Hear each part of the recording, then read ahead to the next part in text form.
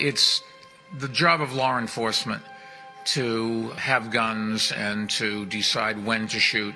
You just do not want the average citizen carrying a gun in a crowded place. Former New York City Mayor Michael Bloomberg made that comment after an armed citizen may have averted a mass shooting by killing a gunman at a Texas church. It hasn't aged well. How convincing can Bloomberg's only cops should have guns message be to Americans who have seen and shared fresh examples of unjustified and brutal police conduct? Or who have witnessed scenes of rioters and looters putting their lives and property at risk because law enforcement agencies failed to protect them?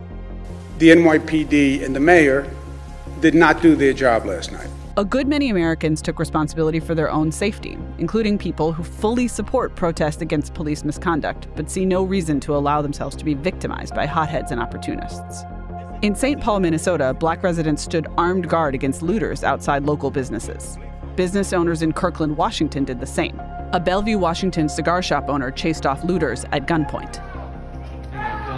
just broke into a cigar shop. They were acting in the tradition of the so called roof Koreans who defended their stores during the 1992 LA riots. I think he's holding a shotgun, and I think one of his purposes is he wants potential looters to see it. He, I think uh, he wants people, all of them up there, want people to see that they are armed and that you uh, enter their properties at some risk. Many police departments conceded the limits of their abilities. In Florida, Sheriff Grady Judd advised Polk County residents to shoot looters. High profile psychologist Scott Barry Kaufman, a gun control supporter, marveled on Twitter that when he called Santa Monica police over protest related confrontation, they told him, Sir, the city is under attack. Do what you have to do. For those who have been advising Americans for years that we should lay down our own weapons and trust armed government employees to protect us and treat us with respect, 2020 has been a massive reality check.